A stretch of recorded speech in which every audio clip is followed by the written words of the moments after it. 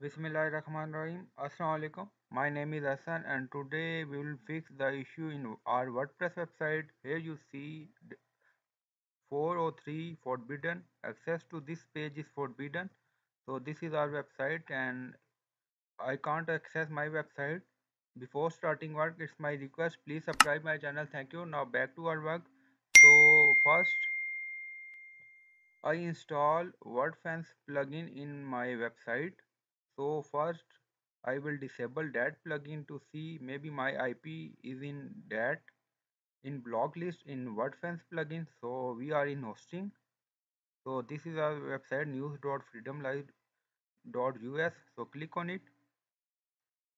And now open folder and wp content folder. So we now click on plugins. So we are in plugin section folder so we will deactivate rename WordFence plugin to check maybe it will work. So this is first step because I already installed WordFence plugin in my WordPress website. So here you see. So rename it.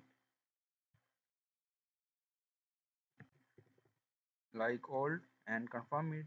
When you rename any plugin from backend then it will deactivate on website. So now refresh the page again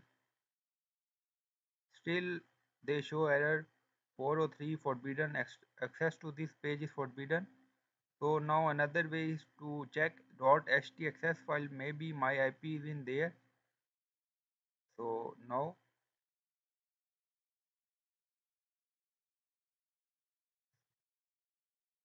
so this is .htaccess uh, file. So open it. Click on edit so my ip is in .htaccess file deny from this. So basically system auto add ip address in .htaccess file. If they see some unusual uh, activity or spam activity but don't sure how uh, system add my ip address in .htaccess file but i remove it and then click on save. And now refresh the website. So you see my website is working fine after removing my IP address from .htaccess file.